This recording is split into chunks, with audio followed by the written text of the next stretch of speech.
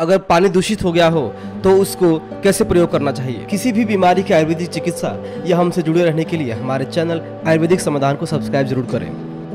दूषित जल में तुलसी की हरी, स्वच्छ पत्तियाँ डालने से जल शुद्ध और पवित्र हो जाता है। इसके लिए जल को कपड़े से छानते समय तुलसी की पत्तियाँ कपड़े में रखकर जल छान लेना चाहिए।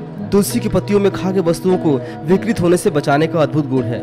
सूर्य ग्रहण आदि के समय जब खाने का निषेध रहता है, तब खा के वस्तुओं में तुलसी की पत्तियाँ डालकर यह मान लिया जाता है कि वस्तुएँ विकृत नहीं हुई हैं।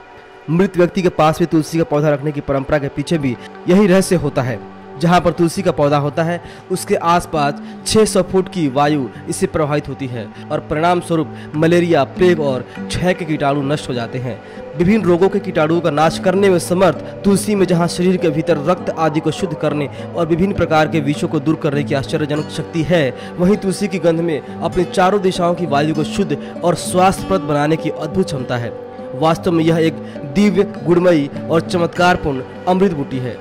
दूषित जल के सेवन से बच्चों के पेट में क्रीमी से बचने के लिए अजवाइन चार भाग और काला नमक एक भाग का चूर्ण बनाकर आधा ग्राम से डेढ़ ग्राम तक आवश्यकता अनुसार गर्म जल के साथ सेवन करने से बच्चों के पेट से क्रीमी खत्म हो जाते हैं।